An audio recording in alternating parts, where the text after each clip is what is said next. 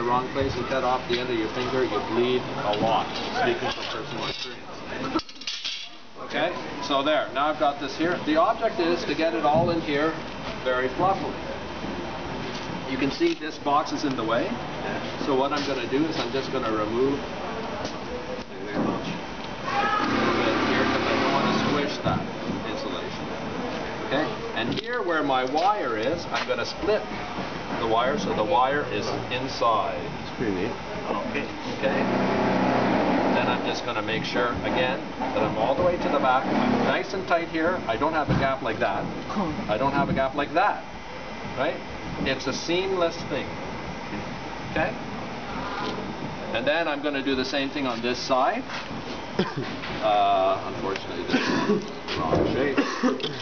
So I'm going to take a measurement here like this. Again, this is 15, so I'm going to do 15 and a half. 15 and a half. And if you air, 15. You said Half an half. 15 plus half an inch. Oh. And if you err, err on a bit larger rather than a bit smaller. Not too much larger. Stick that in there. Again, look, I'm taking some care here.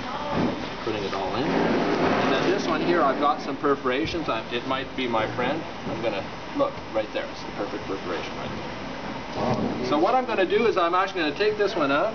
I'm going to put it in the bottom because the perforations are going to make it difficult for me. And now I'm here like this. I'm going to split this baby in half. It's going. Oh. I'm going to bring it up here like this. There, like that. That's cool. And I'm going to come back here and I'm going to make sure that it's all beauty.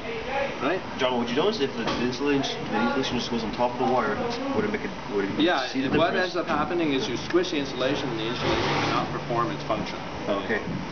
Right. Now, uh, for the argument's sake, let's say this is perfect and I just stick it up. You can go sideways, by the way. But can you put matter. a smaller piece like this?